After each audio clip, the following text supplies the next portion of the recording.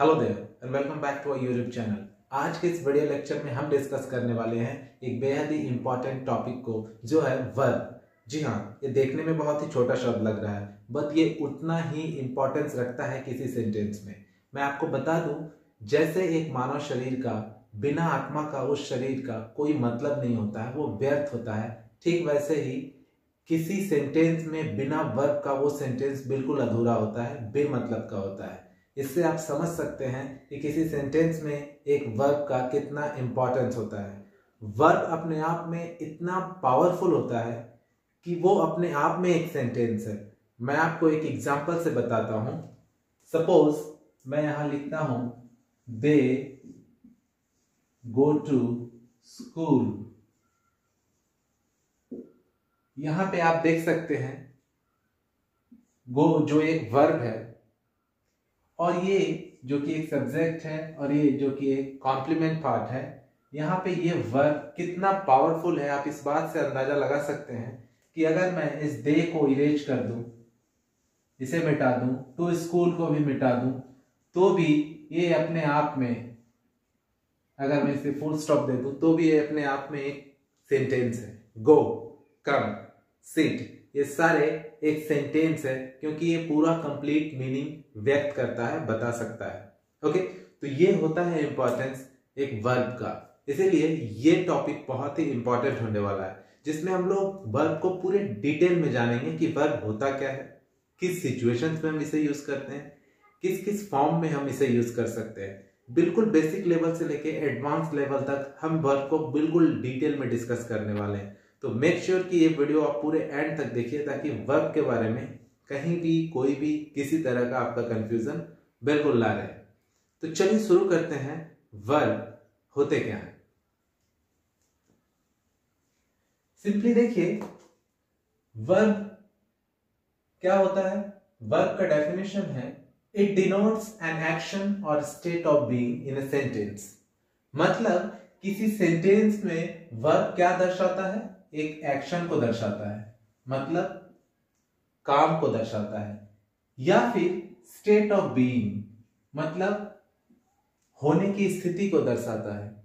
होने की स्थिति मतलब अवस्था को दर्शाता है। क्या वो अवस्था प्रेजेंट का है? क्या वो अवस्था पास्ट का है? क्या यह अवस्था फ्यूचर का है? यही दर्शाता है। या तो एक्शन यानी काम को बताएगा, या फिर होने की अवस्था को बताएगा। किसका? सब्जेक्ट कौन सा काम कर रहा होता है, ये बताता है हमें, और वही वर्ड वर्ब कहलाता है, या फिर सब्जेक्ट किस स्थिति में है, कौन सी अवस्था में है, ये बताता है। तो उसी वर्ड को हम लोग वर्ब कहते हैं। डिटेल में हम लोग एग्ज़ाम्पल से बिल्कुल अच्छे से समझते हैं। फ़र्स्ट एग्ज़ाम्पल है हमारा Ramesh plays football Ramesh football खेलता है। यहाँ काम क्या हो रहा है? खेलने का। तो ये वर्ड प्लेस मतलब खेलना। तो ये वर्ड क्या है? वर्ब है क्यों? क्योंकि ये काम को बता रहा है जो रमेश कर रहा है। रमेश क्या कर रहा है? खेल रहा है। खेलने का काम कर रहा है। इसलिए प्लेस वर्ड जो है, ये वर्ब वर्ड है। अगला सेंटेंस है हमारे पास। You are driving a car तुम एक कार चला रहे हो। यहाँ पे काम क्या हो रहा है? चलाने का। ओके क्या कर रहे हैं? कार चला रहे हो।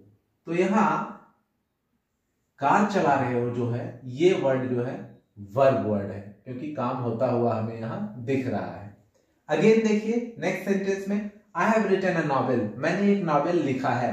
यहाँ पे काम क्या हो रहा है? लिखने का ओके क्या किया है मैंने? एक नॉवेल लिखा है। तो यहाँ लिखा है जो वर्ड है ये हैव रिटन ये वर्ब है ध्यान देंगे कि जब भी किसी सेंटेंस में वर्ब एक से ज़्यादा हो तो वो वर्ब फ्रेज कहलाता है। जैसे आर ड्राइविंग हैव रिटन ये सारे वर्ब फ्रेज यानी वर्ब है ओके तो यहाँ भी ये काम होता हुआ हमें दिख रहा है एक्शन है।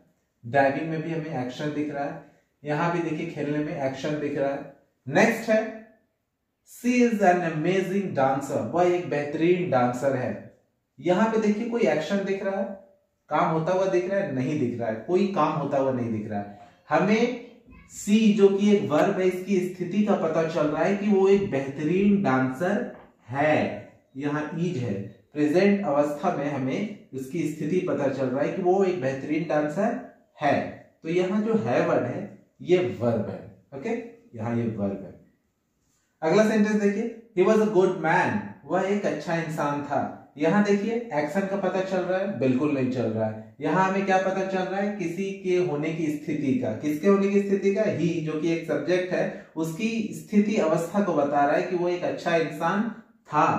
है नहीं? था। ये उसके पास्ट अवस्था के बारे में हमें पता चल रहा है, भूत की स्थिति और वस्तु स्थिति के बारे में हमें यहाँ पता चल रहा है कि वो था।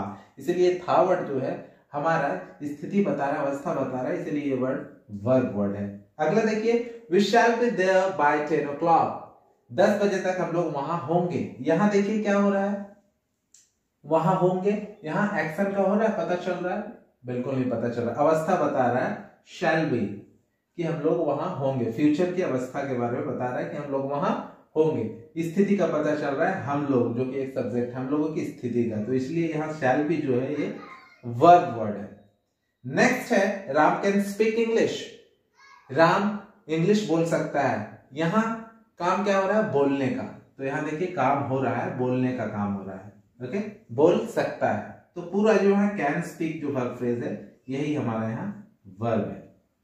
तो ये सारे वर्ब होते हैं। वर्ब किसी भी सेंटेंस में मेन तीन पार्ट्स होते हैं। मैंने ऑलरेडी प्रीवियस वीडियोस में बता रखा है।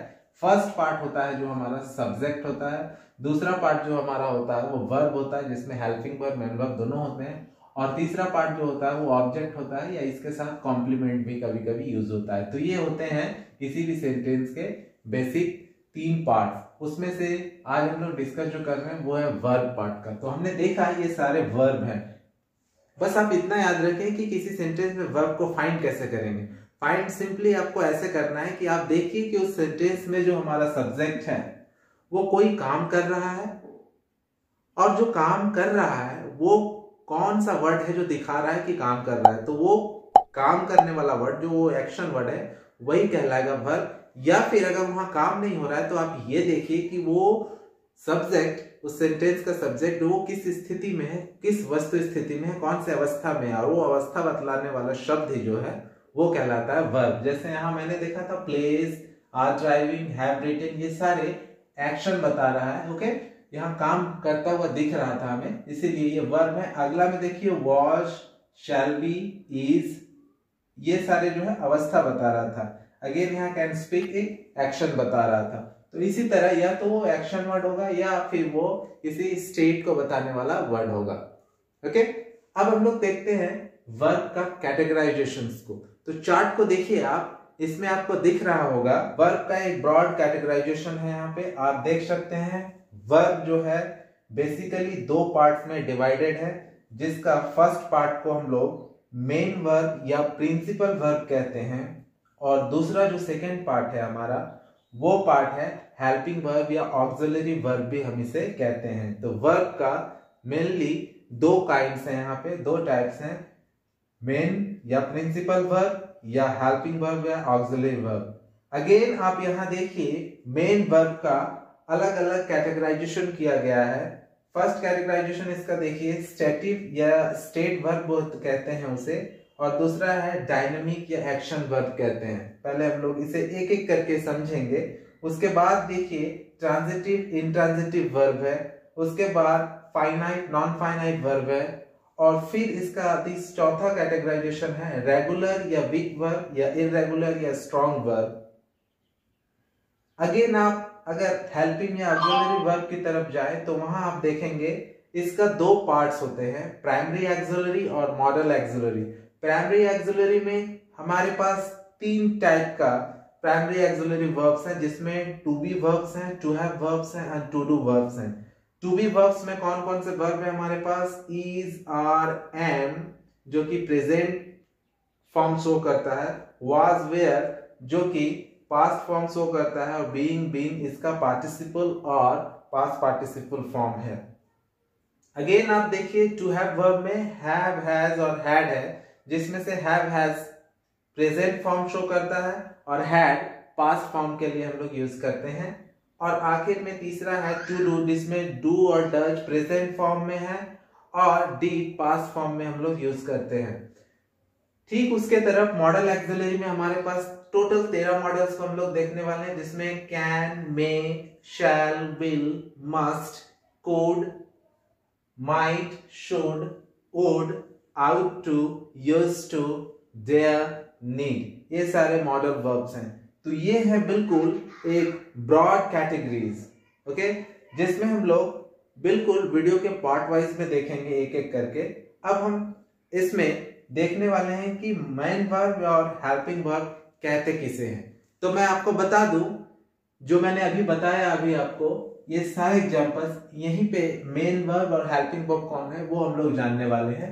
यहाँ आप देखिए फ़र्स्ट सेंटेंस में राम प्लेस फुटबॉल में यहाँ एक लौता वर्ब है, एक ही वर्ब है और यहाँ एक्शन दिखा रहा है। तो इसीलिए ये वर्ब जो है, वो मेन वर्ब है हमारा। जब किसी सेंटेंस में एक ही वर्ब हो तो वो ही वर्ब मेन वर्ब कहलाता है। ओके तो ये हमेशा आप याद रखेंगे। दूसरे सेंटेंस में देखिए you are driving a car तुम एक कार चला रहे हो। यहाँ दो वर्ब है हमारे पास। वर्ब फ्रेज है, एक आर है और दूसरा ड्राइविंग है। तो इसमें मेन वर्ब कौन सा है? ड्राइविंग वर्ब क्योंकि मुख्य क्रिया जो है, वो ड्राइविंग है, क्योंकि यहाँ काम यही शो कर रहा है कि क्या कर रहा है काम? ड्राइविंग का काम कर रहा है, काम चलाने का काम कर रहा है। तो ये हो गया मेन वर्ब और हेल्पिंग वर्ब इसकी मदद करने के लिए जो हमारे पास आया है आर ये हमारा हेल्पिंग वर्ब हो गया। ओके हेल्पिंग वर्ब का डेफिनेशन से होता है कि helping verbs are those verbs which help main verb to complete the sentence okay तो यहाँ पे हेल्पिंग वर्ब का काम ही होता है हेल्प करना मेन वर्ब का। इसीलिए इसे हेल्पिंग वर्ब या ऑक्सिलरी वर्ब भी कहते हैं। तो यहाँ एक आर हेल्पिंग वर्ब है ड्राइविंग का हेल्प कर रहा है सेंटेंस को कंप्लीट करने के लिए। वैसे ही तीसरा सेंटेंस में I have written a novel में रिटेन मेन वर्ब है, क्योंकि ये मुख्य काम को दिखा रहा है लिखने का ओके और दूसरा, उसके सपोर्ट में, उसके हेल्प में आया है, आया हुआ है यहाँ हैव वर्ब जो एक हेल्पिंग वर्ब है ओके हेल्प कर रहा है मेन वर्ब का सेंटेंस का कंप्लीट मीनिंग को बताने के लिए। अगेन यहाँ पे देखिए she is an amazing dancer यहाँ पे ईच इकलौता वर्ब है, इसके अलावा और कोई वर्ब नहीं है। हालाँकि ये मैंने बताया था आपको कैटेगराइजेशन में टू बी का ईच जो है हेल्पिंग वर्ब है। लेकिन आप हमेशा याद रखें, अगर किसी सेंटेंस में हेल्पिंग वर्ब है, उसके अलावा कोई वर्ब नहीं है तो वो हेल्पिंग वर्ब भी वहाँ मेन वर्ब जैसा फ़ंक्शन कर रहा है। इसीलिए वहाँ वो हेल्पिंग वर्ब ना होके मेन वर्ब जैसा यूज़ हुआ। इसलिए वही मेन वर्ब वहाँ पे है। अगर कोई मेन वर्ब नहीं है तो हेल्पिंग वर्ब भी मेन वर्ब है यहाँ। तो इसलिए यहाँ ये मेन वर्ब है हमारा।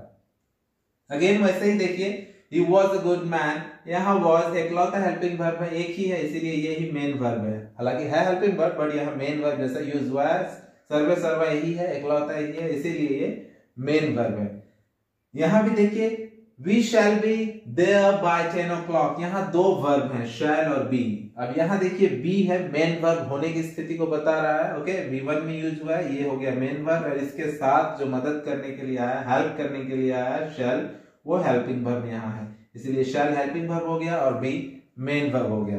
अगेन आप देखिए राम कैन स्पीक इंग्लिश यहाँ स्पीक मुख्य क्रिया है मेन वर्ब है, इसलिए ये स्पीक मेन वर्ब कहलाएगा। अगर इसके मदद करने के लिए कैन आया है, जो बता रहा है, इसके कंप्लीट सेंस को, इसीलिए ये हेल्पिंग वर्ब होगा।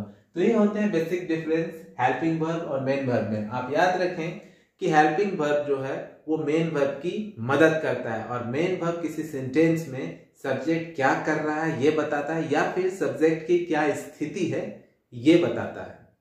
तो ये थे हमारा वर्ब जिसे हमने देखा कि वर्ब होते क्या है। वर्ब के ब्रॉड कैटेगराइजेशन में हमने देखा कि मेन वर्ब कितने तरह के होते हैं हेल्पिंग वर्ब कितने तरह के होते हैं। हमने अभी देखा कि मेन वर्ब किसे कहते हैं हेल्पिंग वर्ब किसे कहते हैं। और किसी सेंटेंस में वर्ब को फाइंड कैसे करते हैं। अभी के लिए बस इतना ही, क्योंकि वीडियो बहुत ज़्यादा लंबा हो जाएगा। इसे हम पार्ट वाइज वीडियो में लाएँगे। आगे हम लोग देखने वाले हैं कि मेन वर्ब में जो हमने अभी डायनामिक या एक्शन वर्ब या स्टेट या स्टेटिक वर्ब पढ़े, उसके बाद finite non finite transitive intransitive इन सारे को ब्रॉड वे में, एक डिटेल वे में हम लोग नेक्स्ट वीडियो में कवर करेंगे। और फिर हेल्पिंग वर्ब को वैसे ही नेक्स्ट वीडियो में कवर करेंगे। तो उम्मीद करता हूँ वीडियो आपको पसंद आया होगा। तो आप प्लीज़ इसे लाइक करें शेयर करें, और ऐसे ही इंपॉर्टेंट और यूजफुल वीडियोस के लिए चैनल को सब्सक्राइब करें। जल्द ही हमारी मुलाकात होगी एक नेक्स्ट वीडियो लेक्चर के साथ। तब तक के लिए स्टे सेफ़ स्टे हेल्थी